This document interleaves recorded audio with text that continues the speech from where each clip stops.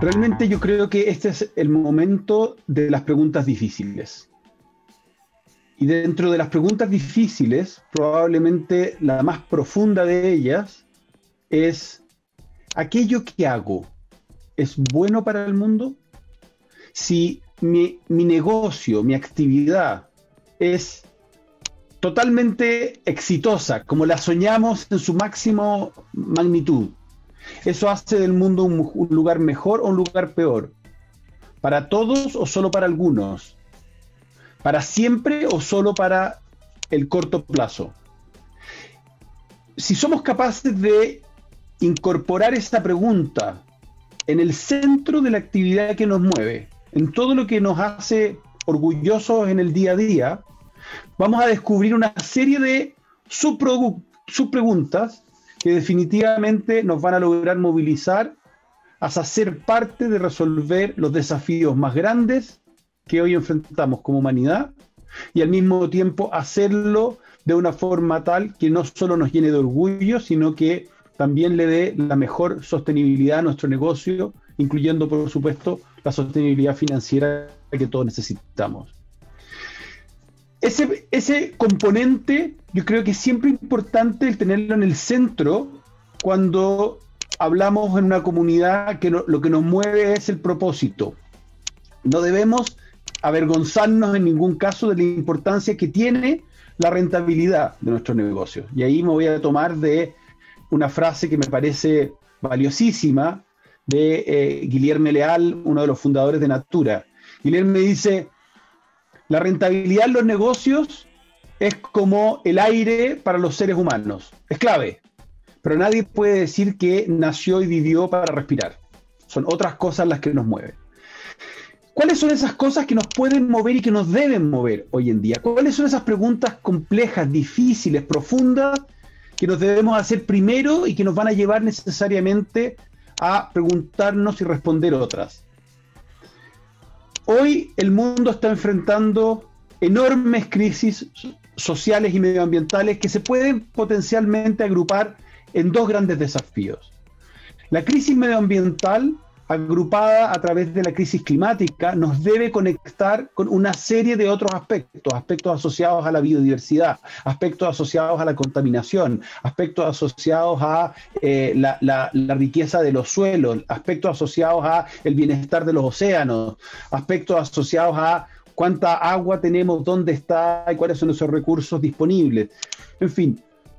todos los aspectos vinculados al medio ambiente se pueden agrupar en materia de la urgencia en la crisis climática que nos debe movilizar de manera urgente. Y créanme, y lo digo además como un practicante de esto, cuando nos focalizamos en la crisis climática, inmediatamente se despliegan una serie de otras acciones, una serie de otros eh, desafíos que necesariamente nos pueden llevar, en la medida que las respuestas las respondamos de manera correcta, a que nuestra actividad sea efectivamente una actividad que contribuye a un medio ambiente saludable, a un medio ambiente eh, próspero, no solo en el corto plazo, sino que también en el largo plazo, no solo para algunas personas, sino que también para todos. Y el otro gran bloque en el cual debemos concentrarnos es la crisis de inequidad. ¿De qué manera hoy en día las expresiones de eh, las expresiones sociales, ¿no? A través de todas estas manifestaciones que se están dando en todo el mundo, a, ratos de forma muy masiva, a ratos de forma más micro, obedecen a una sensación de injusticia muy bien anclada en que el desarrollo que hemos logrado como especie es sorprendente, es maravilloso, pero no ha llegado a todo el mundo, muy por el contrario, hoy en día, y máxime dada la, crisis que estamos viviendo con la pandemia del COVID, es una crisis que aumenta los niveles de desigualdad, es una crisis y una forma de entender el desarrollo que hoy tiene a la mitad de la población del mundo sin capacidad de entender qué es lo que les va a deparar el futuro. Hoy tenemos una urgencia que no solo es absolutamente moral, nos corresponde a quienes tengamos ámbitos de poder, por muy pequeños que esos puedan ser percibidos, nos corresponde por un deber moral el comprometernos por el bienestar de todas aquellas personas con las cuales interactuamos. Pero ojo que también hay un componente en esto